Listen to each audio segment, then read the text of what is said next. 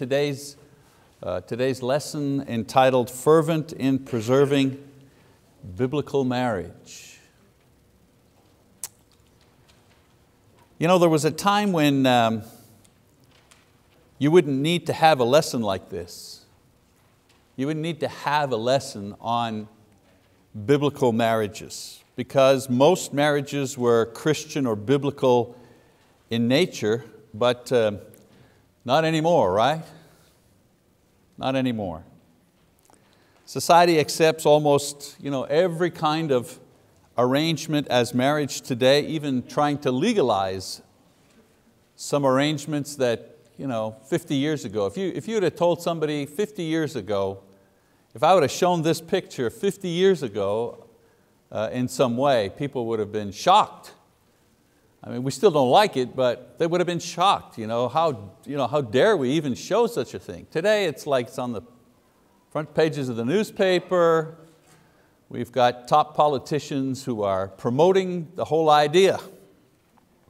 So I think therefore it is necessary to review what God has designed as marriage. So I want you to open your Bibles. I'll be throwing up the slides, but if you open your Bibles to Genesis 2, pretty much where we're going to be most of our, most of our time this morning. Now in my ministry, I've had many people who were not Christians who would come to me to perform their, their marriages, their wedding ceremonies. Here, but especially back in Montreal, uh, people would come to me to have me do their uh, weddings. You know, people who never go to church, uh, who don't read the Bible, they have no convictions about Christ one way or another, but when it comes to getting married, oh, they want a, they want a church wedding. You know, somehow people think that um, a church wedding adds a spiritual component to their wedding day. And they want, you know, they want God's blessing on their, on their union. And they're thinking, well, you know, having the, the, the wedding inside of a church building somehow accomplishes this. And I think this happens because they believe that churches and ministers can somehow provide a, a stamp of approval on their marriage and make the whole marriage itself acceptable in the eyes of God. You know, if we can just get married inside of a church building, it's all good. The truth, however, is that marriages are acceptable in God's eyes if they are entered into by men and women consciously and legally. You're wondering, you know, what, you know, how low is the bar, if you wish? I mean, the ceremonies may differ from country to country, but this element is always present. Man, woman, consensual agreement according to the law of that society. That's, you know, that's, that's the bar. And if this was not the bar, then every Hindu, for example, or every Muslim or every non-believer would be living in adultery in the eyes of God. Because none of these people were married inside of a Christian church building. So being, inside, being, you know, being, having your wedding inside of a Christian church building performed by a minister or whatever, that's not the element that makes your marriage you know, acceptable to God, not necessarily the only thing. So if it's consensual and legal, it's acceptable in God's eyes.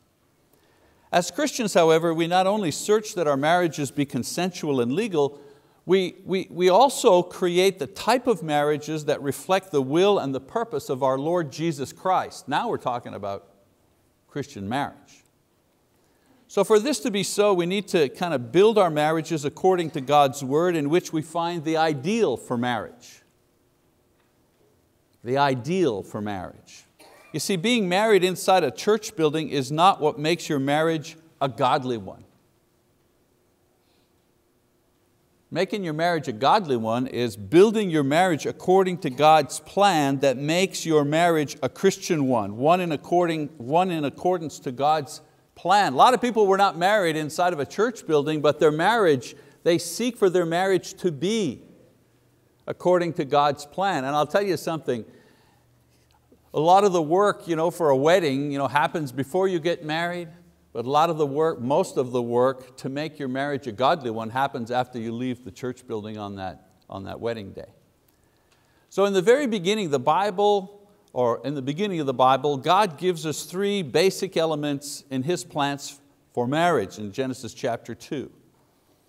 So I want us to review these and see if they exist, well, in our own marriage. So what's the first element? Well, the first element is knowledge of self.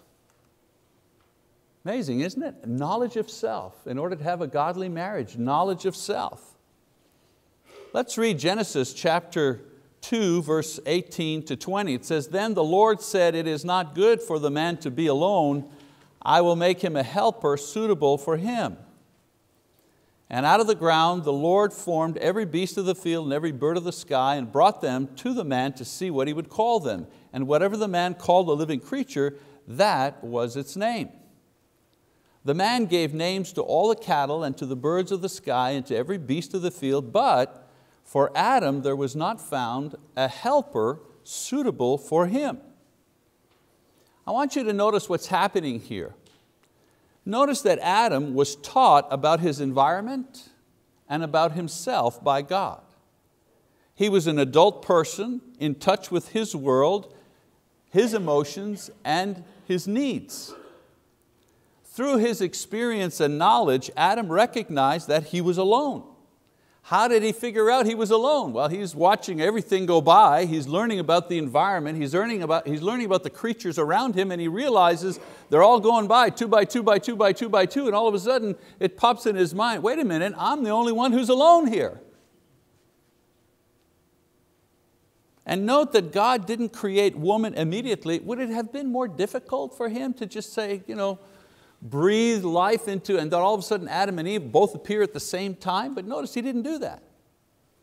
He gave Adam time to know himself, time to know his surroundings, and most importantly, time to uh, understand his sense of aloneness. Now I mention this because this basic teaching in the Bible about self-knowledge and marriage is echoed by marriage counselors even to this day. Marriage counselors tell us that the best time to get married is when we have reached a certain ideal level of social and emotional preparedness. Let me break that down for you slightly. Let's talk about social readiness. Social readiness means you are socially ready for marriage when you have some idea of what you want in life, where you want to go in life, you're socially ready for marriage when you've formulated some of your own convictions about things. When you've learned to function within society independently. In other words, you may love and respect your parents, but you are now taking care of yourself by yourself. So those are some of the elements necessary to be socially ready for marriage. Then there's emotional readiness. Not the same thing as social readiness. Emotional uh, readiness is you're ready for marriage when you recognize your need for marriage. Not just your need for that other person, your need for marriage itself. Not what your parents want for you, not what your beloved wants out of you, but what you want for yourself. In other words, you are emotionally ready for marriage when you are prepared to stop being alone. I'm alone, I'm alone, I'm alone, it's okay, I'm alone, I'm enjoying it, it's okay, I'm alone. Then all of a sudden I'm not alone anymore, I'm lonely. I need someone to fill, fulfill my life. When, when those thoughts start entering into your mind, then you, you're getting to the point where you're emotionally ready. And this is important because some people want to marry, but they continue to live and think as single people. It's one of the most repeated themes in my own counseling with people who are getting married or who are having trouble in their marriage. Many times one of the partners is married, but still thinking like an, a single person. So you're emotionally ready when you are ready to make a full and lifetime commitment. You're ready and you want to do it. I mean, if you have to be talked into it by your partner, if you have to be talked into it by your family, You know, things like, what are you waiting for? Go ahead, do it. You know, you know you'll make your mother very happy. You know, uh-uh, oh, be careful. If that's how you enter into that commitment of marriage, then you're really not ready emotionally. Now what often happens is that you have two people and four variables that don't match. For example, he is ready socially, but he's not ready emotionally. She is ready emotionally, but, he's not, but she's not ready socially. Maybe she's still in school, hasn't finished college, whatever. And the match doesn't light because one or more of these variables are not in place. Of course, the, we're talking about the ideal, right? You know, if we don't know what the ideal is, we don't know what to shoot for. So the ideal situation is that both partners are socially and emotionally ready to enter and want to enter this relationship. So back in Genesis 2, we see that Adam was ready socially because he knew his position in the creation. He knew his role in life. And he was ready emotionally because he understood that he needed and wanted a partner to complete his life. You know, God said it's not good for man to be alone. And I think man, Adam at that point, was saying, amen. And in His majesty and wisdom, God created woman who was ex, uh, uh, exquisitely made, both socially and emotionally, to perfectly complement Adam. So in God's plan for marriage, the partners know themselves and they know their position within God's creation and they're also ready and willing to leave their single status to enter into a lifetime commitment of marriage. So the first element of godly marriage, Christian marriage, knowledge of self. The second element is knowledge of our partner.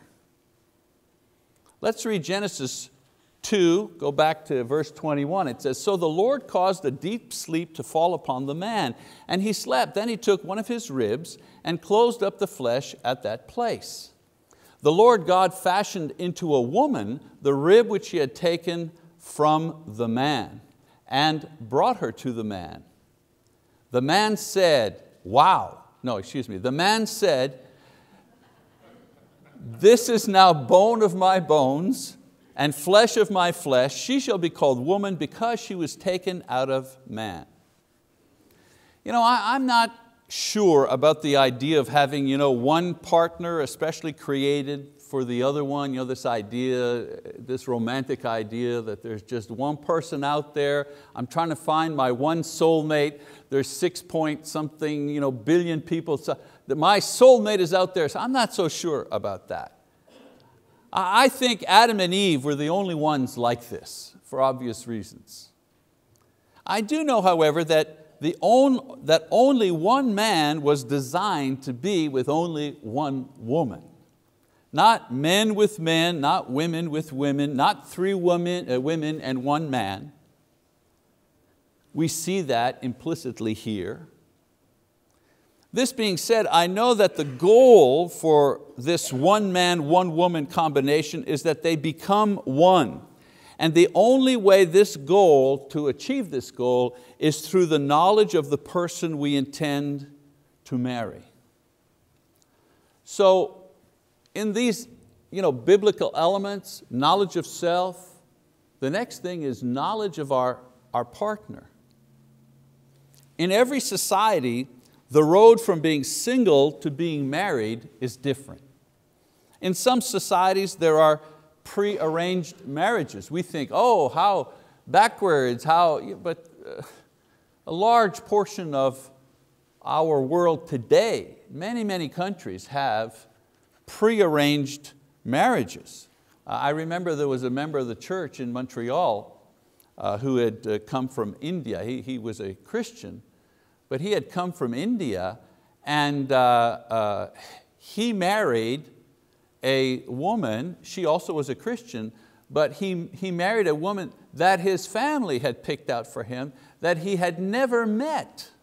They, they had corresponded on, you know, uh, through the internet. I mean, he didn't find her on the internet, but it was a way that they could talk to each other and they spoke to each other for about a year on the internet. And then finally the big day came and you know, he, he got on a plane and he went over to India and he married her. He told me there were 700 people at his wedding ceremony. And they were married and they had a baby and she had a second one on the way and so on and so forth. So uh, prearranged marriages. That's one way that it happens. Uh, some have long courtships and engagements. Um, another member of our congregation in Montreal was from Africa. And there, one of the fellows was having trouble you know, marrying his beloved because his family and her family had not yet agreed on what the dowry was supposed to be, and they were still negotiating. And these two young people were like waiting, waiting, well, any word yet? No, they're having another meeting. So, so foreign to us, and yet he said, this, this is just normal. You know, they lived in Canada, had a car, they had laptops, the, he was a programmer, you know, very modern. But as far as their marriage custom, they were still holding to the custom from the country from which they, from which they came. And, uh, you know, and today, uh, pen pals, well that's kind of old, that's uh, old school. But today, you know, internet, a lot of people in the church met their partners. Again, I go back to Montreal, such an interesting congregation. Uh, one of our uh, brethren there, who was from Romania and had you know, come to Canada, a single guy in his early 30s, uh, he met his wife online on a Christian you know, dating service in Russia. And you know, they, they, you know, they exchanged for six months. He went to Russia to meet her. You know, you know, compare the picture and the person. You know, I think that's a due diligence. Met her family, went to church with her, find out she is who she is, and she found out he is who he is. And then he came back and they corresponded some more. Then he went back and he married her. And then he came back to Canada and then another year went by till she got her visa. They were married for like five days. Then he had to leave for a year, wait for her. You know, not everybody marries their high school sweetheart. Many, many different ways to get from being single to being married. But in the end, the thing we want to do is to get to know the other person so we can get close to them. This is an important part of the marriage sequence because it's through this process that we establish not only a material contract, you know, like dowries and you know, marriage license, stuff like that, but also, also an emotional contract. It's during this period of getting to know each other that we make those promises. We, we don't make the promise here in, in the church building, we formalize it. No, it's all those long conversations and it's all those expressions of love and it's all those, you know, uh, you're the one, you'll always be the one, I want to spend my life. That, that, that's an emotional contract being written. And you only can write that contract if you know the other person. Now two people who know their environment and who know themselves need to spend time learning to know each other. And it's during this effort to know each other that the couple lays down the groundwork for their unity, for their oneness. Now, here's the problem. The greatest problem here in this getting to know you business that confronts people, well in our society anyways, is that we are bombarded with the notion that having sex is the only and the best way to know someone. The truth, however, is that engaging in sex before the commitment part to marry usually hampers us in the effort to really know the other person. You see, sex was designed by God to do a lot of things. Let me give you a sample of the things that God designed sex to do. Sex was created to confirm our commitment to the other person, to our oneness.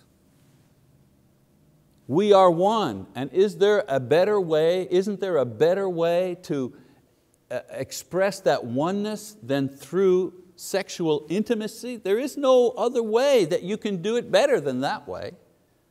So God designed sexual intimacy for that purpose. Also to express loyalty.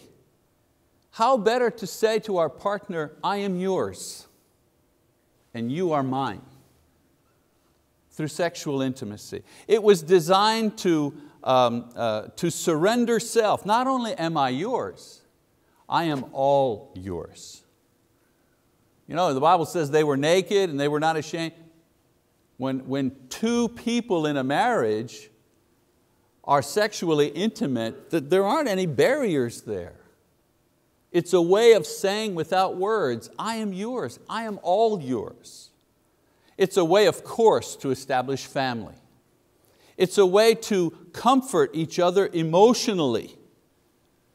You know, there's sometimes sexual intimacy says things that we don't say through words. It says, I love you. It says, I'm still yours.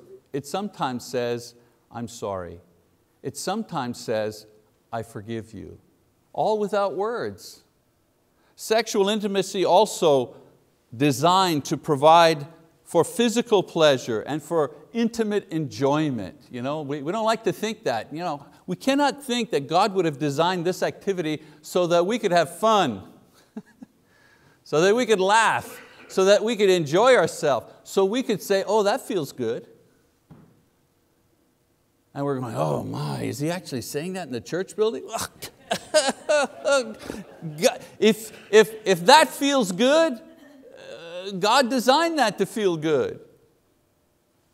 So we're not usually ready. Now here's my point in all of this we are not usually ready to do all of these things, confirm, express loyalty, surrender self, establish family, comfort emotionally, blah, blah, blah. We're not usually ready to do all of these things with somebody we don't know. Certainly somebody we don't know well.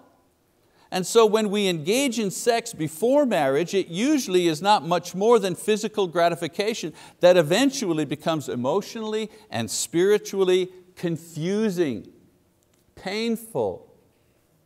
You know, young people say, man, is God, you know, is God you know, doesn't want us to have fun, doesn't want us to enjoy ourselves.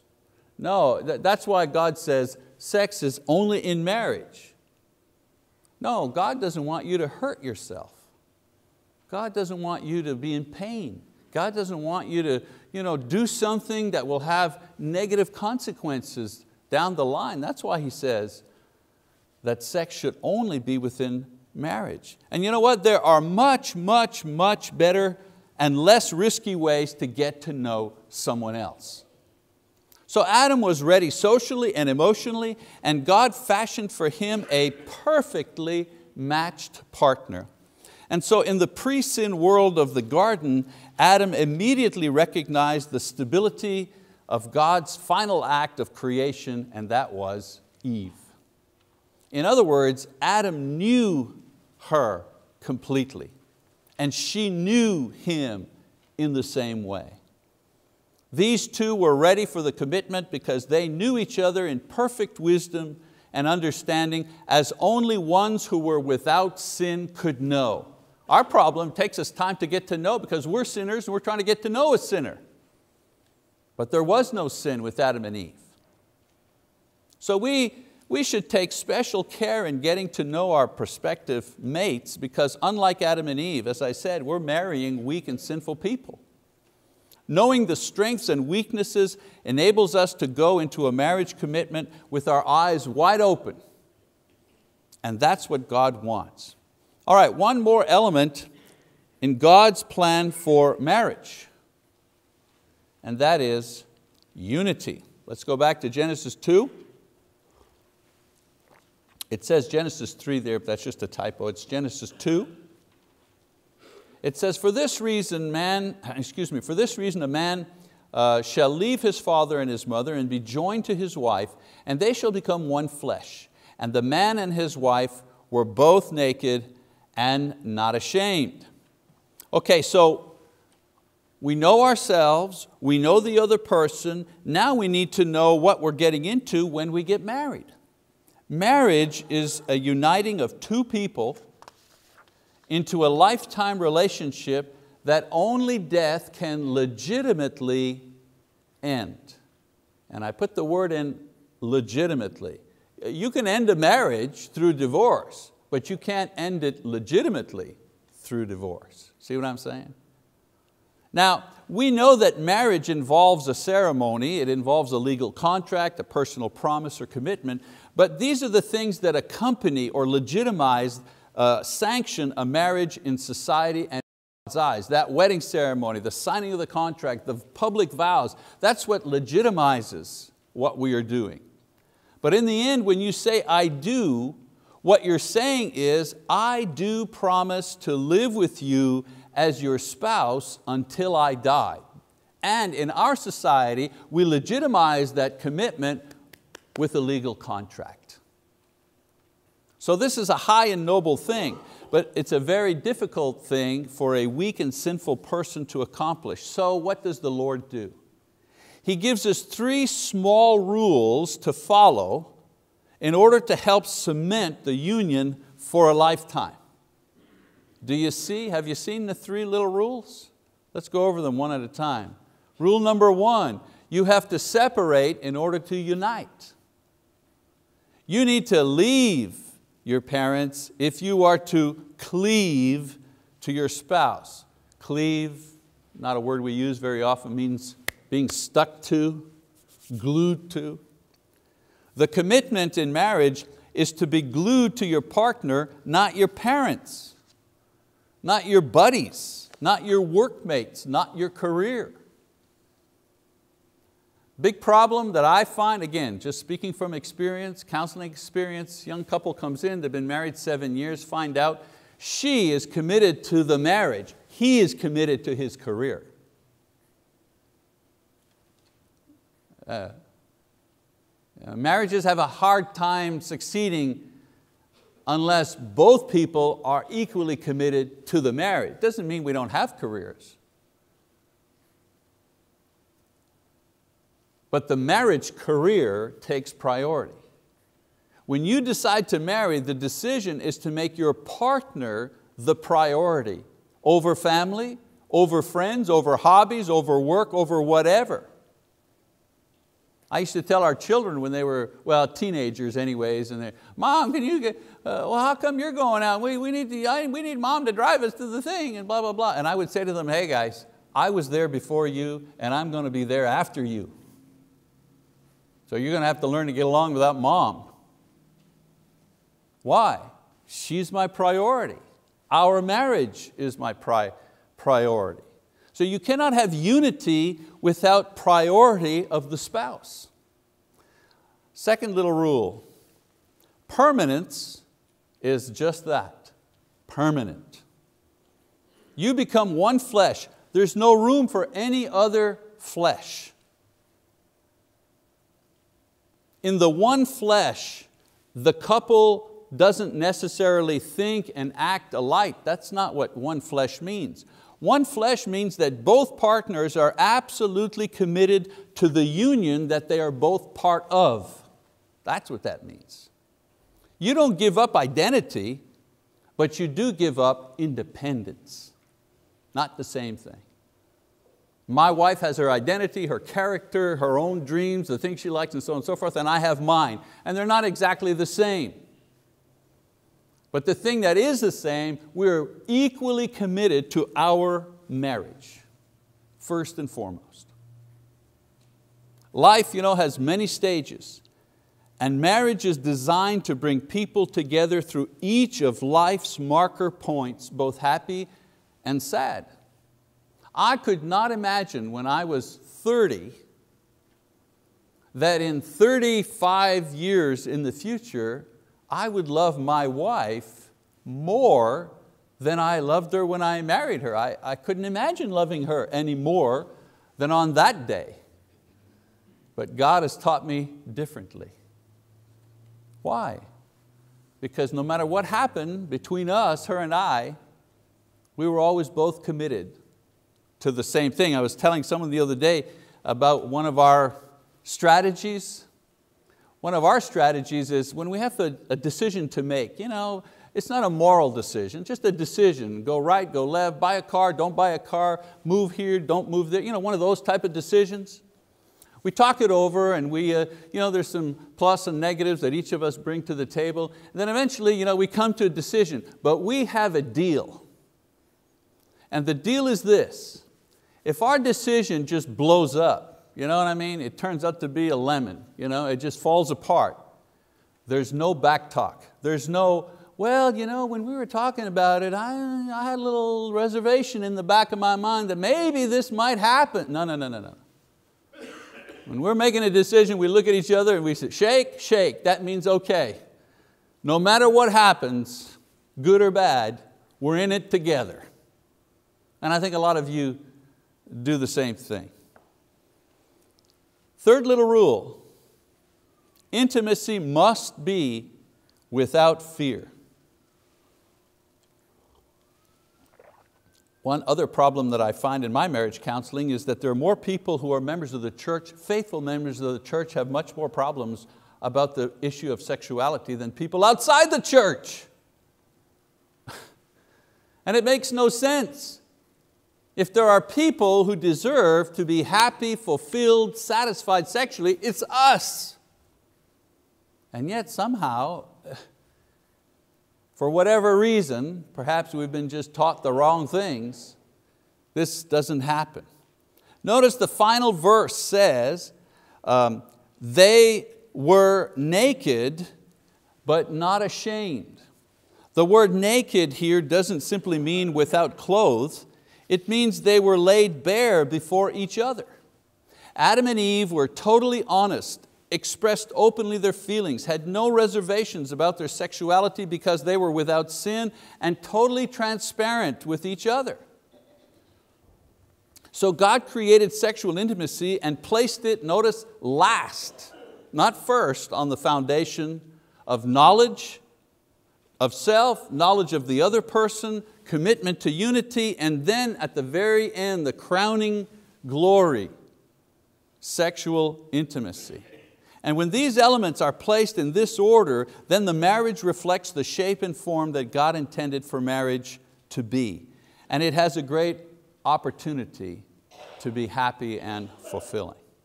Now, in this, a lot of time left, in this lesson, you know, we've looked at ways to turn an ordinary marriage into a Christian marriage. And so far, what I've done is to give you the three basic elements in God's plan for marriage. Knowledge of self, knowledge of the other person, making a lifetime commitment to unity.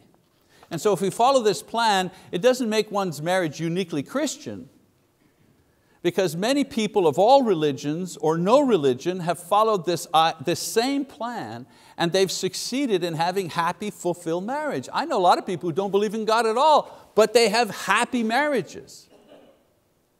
And if you look at their marriage, they're kind of following you know, the things that I've talked about this morning. And in this we see God's goodness and mercy. You know, the, the rain and the sun falls on the just and the unjust. God's plan for a happy, satisfying marriage, if followed, works for someone who does believe or who doesn't believe. But there's another element here.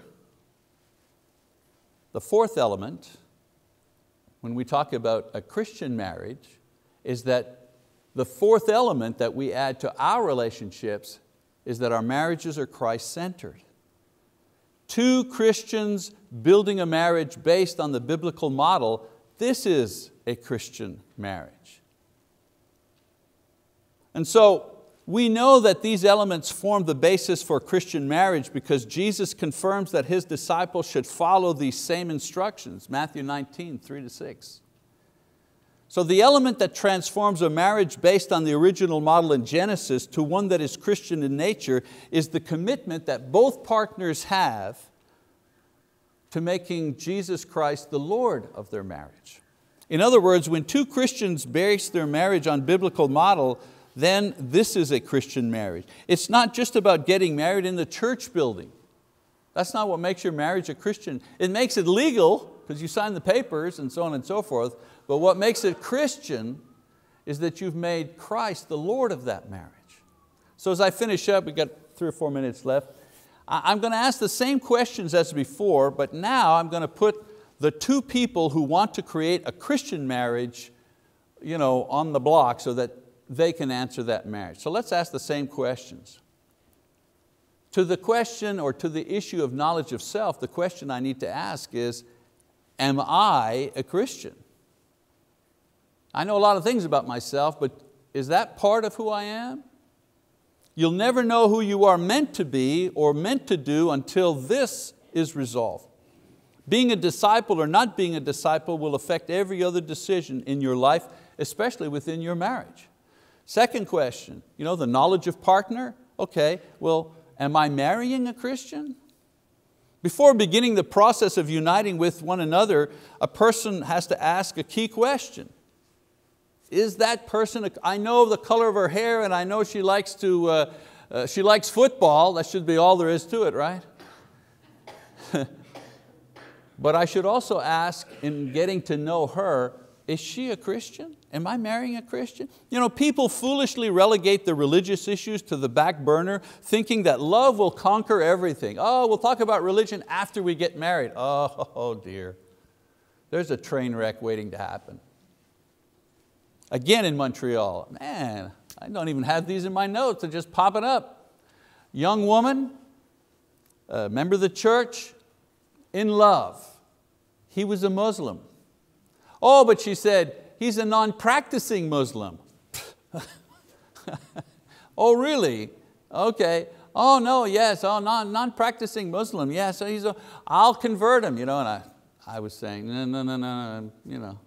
You can't, you know, 28-year-old woman who has a career and a good education, you know, you're not going to tell them what to do, but she asked my advice, I gave it to her. I wouldn't do this if I were you, or I'd wait Get to know them a little better. No, you know, you're in love, you're in a hurry. And they got, I didn't marry, and they went and got married anyways.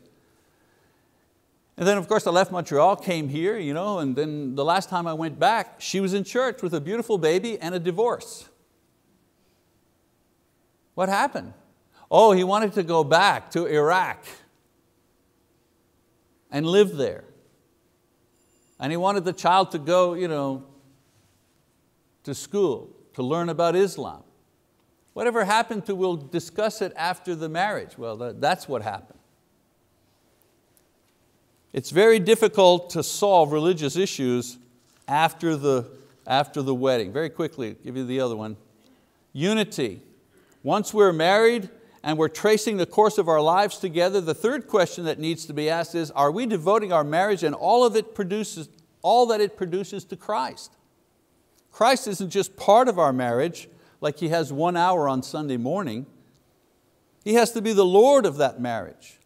Again, I go back to Lisa and I, when we make decisions about moves and this and that and so on and so forth, one of the questions we would ask ourselves is, is this thing we're doing, is it seeking the kingdom in a more perfect way?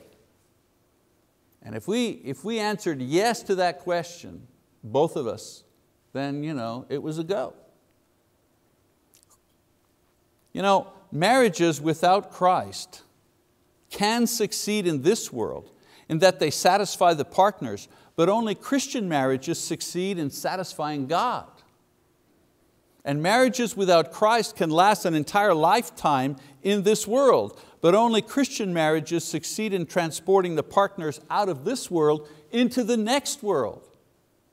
You know, Billy Van Kuren was telling me this morning about a dear friend of his who had a, a massive stroke and a man in his 50s, not expected to, to live. And we spoke about that, how terrible that was for his wife, and he doesn't have young children, but you know, young, young adult children, and how sad all of that was, you know, and close to retirement, we're going to travel now, we're going to do stuff that we've been putting off, work hard all my life.